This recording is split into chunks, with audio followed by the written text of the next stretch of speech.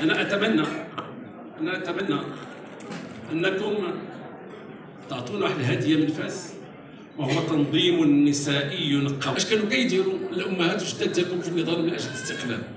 حينما يكون فقط الرجال هم الحاضرون تغيب المرأة لا في الاقتراح ولا في الترشيح اليوم الأمانة الجهوية آه، ديال الأصالة والمعاصره لجهة فاس مكناس. آه، درت هذا اللقاء نسائي آه، من بعد ما السيد الأمين العام يعني أعطى التعليمات ديالو أنه يتم تنظيم النساء واللقاءات الجهوية في جميع الجهات ديال المغرب. اليوم اللقاء كان ناجح واللي قدرت المرأة اليوم ديال جهة فاس مكناس أنها تعبر على آه، عبرات على يعني بزاف ديال الحاجات اللي كانوا مهمين. آه، اليوم إن شاء الله كنقولوا أننا غنظموا واحد المنظمة نسائية اللي غادي تكون ديال الجهه قوية واللي غادي يعني غنشتغلوا في الحقل السياسي.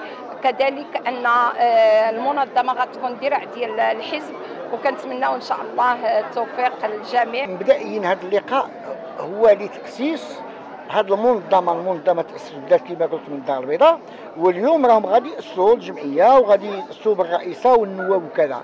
من أجل يعني تنظيم هذا الحزب وخاصة المرأة. اليوم ربما غادي تعيشوا من بعد التنظيم ديال الحزب اللي غتكون الرئيسة والنواب وكذا. ولكن في نفس الوقت هذا الحضور الكبير والشامل وهذا القبول بين بأن في حد ذاته بدون ما يتبرمج من أجل التسويق السياسي.